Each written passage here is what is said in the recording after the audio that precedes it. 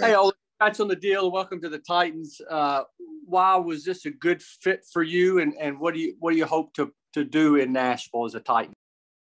Um, thank you very much, by the way, and um, it's great to be here. Um, honestly, um, me and my agent sat down, we talked about it, and honestly, it's a it's, I don't see why it wouldn't be a great fit. You know, Coach Mike Vrabel played in the league. Um, he played linebacker.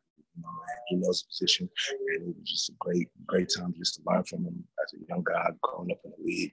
You know, me still being 23, I have a lot to learn, and you know, I feel like I can contribute. You know, me playing special teams, and you know, just be great for me to get grow my defensive scheme as well. Harry.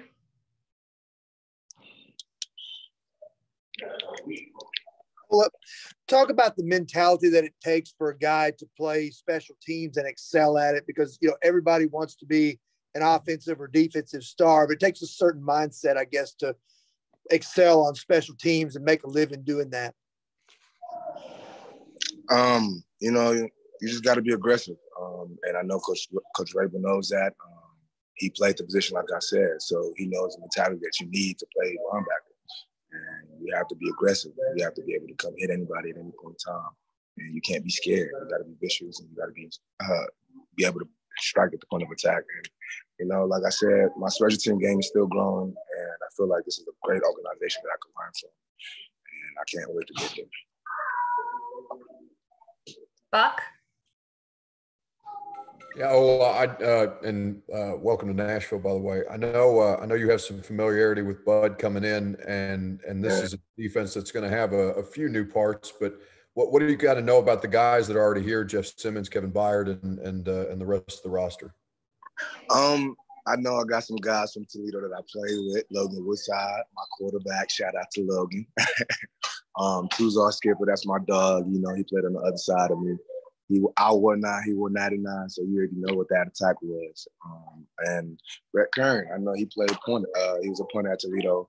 I personally didn't get to you know, know him in Toledo, but you know, I just know a lot about him, and I know he's a great punter, and I know he's a great guy as well. So that's all I know about it. But I can't wait to get with my boy Bud. Shout out to Bud, you know, because hey man, like honestly, I learned a lot from him, and I just can't wait to get there him again. That's my dog.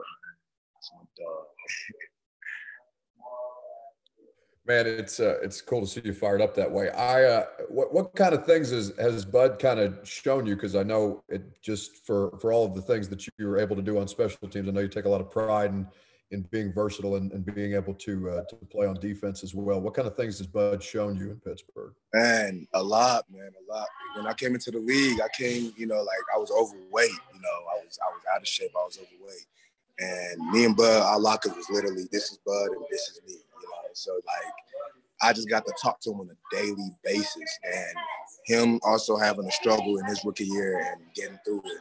You know, he had advice for me. Like, you know, he, he, was just an OG to me. And, you know, him and Vinny Williams and um, those guys were OGs to me. They just taught me the game and how to succeed in the league and how to make a living, you know, and even off the field as well. Like, Bud is probably one of the smartest guys I know financially. You know what I'm saying? So like just learning things like that off the field and on the field from him, like it's amazing, and I can't just wait to grow and just learn with him as well. I can't wait to go to Cashville with my dog. Kayla. Loving the energy, Ola. Um, you know, when it comes to Cashville, aka Nashville, they call it Smashville here. I mean, there's many nicknames. Uh, what do you know about this city? And it does seem like you're fired up to come here. It's kind of one of those cities that's growing at a fast pace, and sports included. Mm-hmm, for sure. Um, I actually I grew up uh, with uh, one, of my, one of my guys from Houston. Um, he went to Vanderbilt um, went to same high school and everything. He's signed to Vandy, and so he obviously knows the city. And me and him still being like this, he's actually here with me right now.